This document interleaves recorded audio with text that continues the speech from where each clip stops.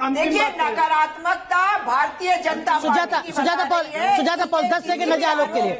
Complete कर रहे हैं। अजय आलोक। लेकिन आरोप लगाने में माहिर है। अब मोदी जी कैसा इंडिया चाहते सुजाता हैं पॉल प्लीज़ जरा कंप्लीट करने दीजिए अजय आलोक को। मैं आऊँगा आपके पास। और हमारे भारत को जंगल ये राज विभाजित करने वाली पार्टी ऐसा इंडिया चाहती है जहाँ पर इन्होंने संसद से इन्होंने आज वास्तव में जंगल राज का उदाहरण पेश किया है। किया लालू यादव उस माले के साथ बैठे हुए हैं जिसको गला कटवा पार्टी कहते है। ये चाहते कांग्रेस तो उस सपा के साथ बैठी हुई है जिसको सपा कहती थी कि सबको खा जाएगी एक दूसरे को अजगर की तरह निगलने वाले एक दूसरे के साथ बैठ के गठबंधन बना रहे हुआ खड़े हो जाए देश की निर्लजता को देख रहा टीवी ठीक है, चैनल के ठीक साथ है। और इन लोगों के। साथ जो चाबी सुजाता पॉल, सुजाता पॉल, सुजाता पॉल, सुन लीजिए।